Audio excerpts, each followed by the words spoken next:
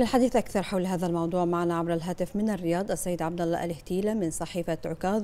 أهلا بك. طبعا العلاقات الأخوية التي تجمع المملكة العربية السعودية ومملكة البحرين طبعا علاقات تاريخية تمتد في عمق تاريخ البلدين الشقيقين.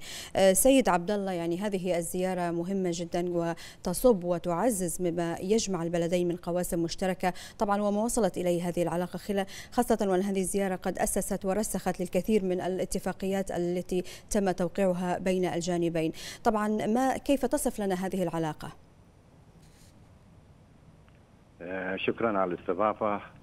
أنا حقيقة تابعت آه، بفخر واعتزاز زيارة ولي العهد الأمير محمد بن سلمان حفظه الله لمملكة البحرين الشقيقة.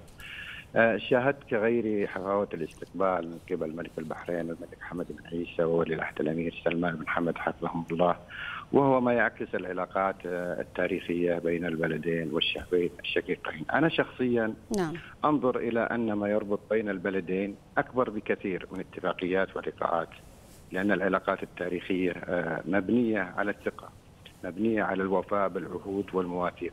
طبعا هذه العلاقات لا تتأثر بمواقف سياسية أو مكاسب اقتصادية أو أحداث عابرة. ولا شك إن ما تم الاتفاق عليه في العاصمة البحرينية المنامة اليوم يؤسس لمرحلة آه، جديدة آه، اقتصاديا وسياسيا وامنيا وعسكريا خاصة أنها تأتي وسط ظروف صعبة. والحمد لله هناك توافق كبير بين البلدين في كثير من الملفات الشائكة سواء في اليمن في سوريا في العراق في لبنان في السودان في نعم. ليبيا وهذا هو ديدا الحمد لله العلاقات بين البلدين